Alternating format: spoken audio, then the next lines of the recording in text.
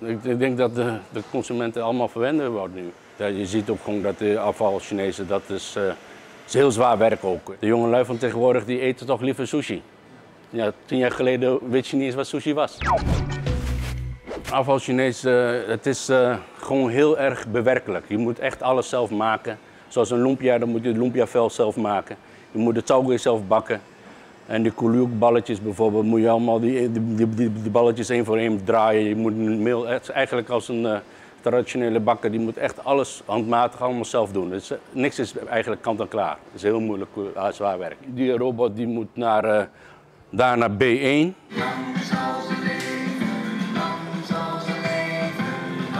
Met dit soort technische snufjes probeert restauranthouder Patrick Pan in trek te blijven.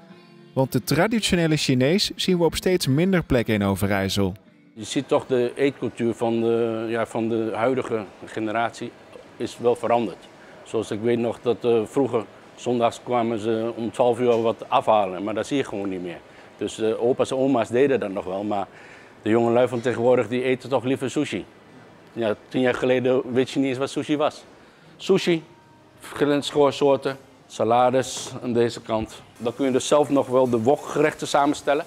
Pan bouwde 13 jaar geleden zijn Chinees om tot een wereldrestaurant. Omdat het ook eigenlijk een beetje te klein werd. En uh, ik, ik heb toen nog voor mijn ouders gewerkt, maar mijn kinderen die zullen dat zeker niet meer doen.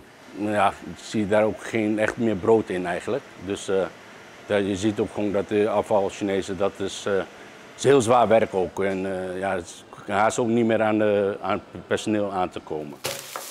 Eén op de zes Chinese restaurants in Overijssel sloot de afgelopen jaren de deuren. Maar heeft zo'n wereldrestaurant dan wel de toekomst? Het is gewoon heel uitgebreid. Je kunt alles eten wat je ook bij de afval Chinees zou kunnen eten en meer. En uh, tegenwoordig, ja, de wereldrestaurants. Ik zie ook dat, het, dat je toch wel moet blijven vernieuwen. Want de oude formule, wat ik 13 jaar geleden heb, uh, zeg maar een beetje heb bedacht, is naar mijn inziens ook niet meer echt zo populair. Want je moet elke keer als je wat wil eten in de rij gaan staan. En uh, ja, mensen willen gewoon niet meer zoveel lang in de rij staan, denk ik. Worden we dan ook steeds verwender eigenlijk als klant? Ja, ja zeker. Ik, ik, denk dat de, de, consumenten allemaal verwender worden nu. Kijk maar naar, uh, als ze wat eten willen afhalen, gaan ze niet meer zelf halen, maar laten ze het thuis bezorgen. Dus de mensen worden echt wel een beetje lui soms. Ja. En uh, al die taartjes en die moesjes, dan maken we allemaal zelf. Heeft uh, de afval Chinees nog toekomst, denkt u? Afval Chinees, ja, heeft nog wel toekomst, maar moet je iets gaan vernieuwen. Alleen de, ik hoop dat de kennis gewoon blijft. Want uh, ik ben bang dat uh, als de oudere generatie ermee stopt en dat, als de, de, de kennis er niet meer is, dan kunnen ze het ook niet meer klaarmaken zelfs.